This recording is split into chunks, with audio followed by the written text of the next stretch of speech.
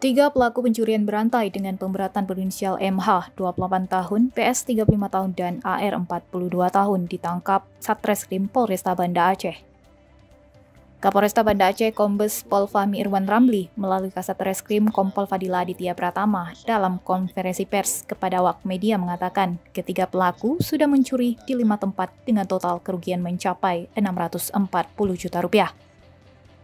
Aksi pertama dilakukan di sebuah rumah kosong Jalan Alu Masjid Gampung Ate Jawo, Kecamatan Baitur Rahman pada 15 Mei 2023 lalu.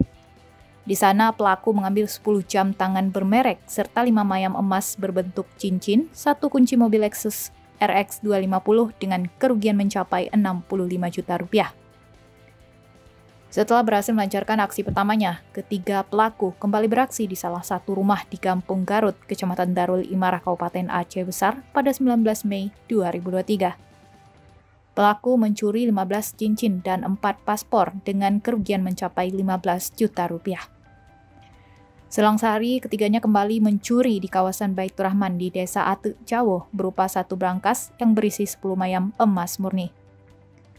Kemudian aksi selanjutnya di Desa Jempit Ajun pada 21 Mei 2023. Pelaku berhasil mengambil sejumlah uang senilai 72 juta rupiah serta perhiasan emas seberat 117 gram.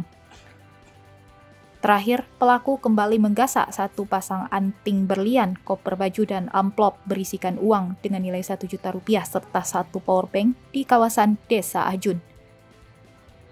Ketiga pelaku akhirnya ditangkap pada 22 Mei 2023 setelah polisi menerima laporan dari para korban. Atas perbuatannya, pelaku disangkakan pasal 364 ayat 1, 3, 4, dan 5 KUHP tentang pencurian dengan pemberatan dan ancaman kurungan 9 tahun penjara.